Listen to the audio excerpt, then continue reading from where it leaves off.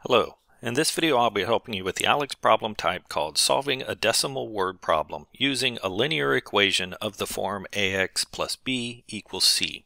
And we're told Melissa purchased a prepaid phone card for $15. Long distance calls cost 7 cents per minute using the card. Melissa used her card only once to make a long distance call. If the remaining credit on her card is $13.74, how many minutes did her call last? So we know that the total amount on Melissa's card is $15. So that will be the right hand side, C, is $15. And I'm going to write this with the cents. And we know that that card was used once. And between what was spent on the card and the remaining balance, it should be $15. The amount that was spent was per minute, so 7 cents per minute. That's going to be our AX portion.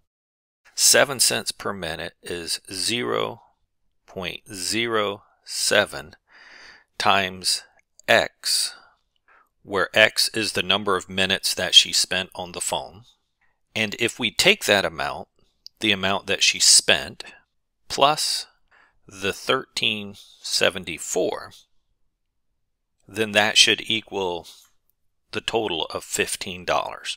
And now that we have translated it, we can start to solve. We want to isolate the x, and our first step is going to be to subtract the 1374 over. So minus 1374 from both sides. The left-hand side, that will cancel, leaving me with just the 0.07x.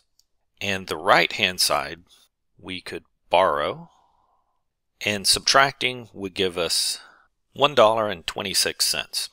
And then our last step for solving this equation is to undo multiplication on the left-hand side with division.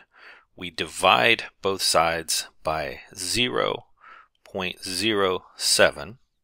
Canceling out on the left, that now gives me just the x. And on the right, doing the division, we have 18. And in this case, x is our minutes. So how many minutes did Melissa's call last? 18 minutes.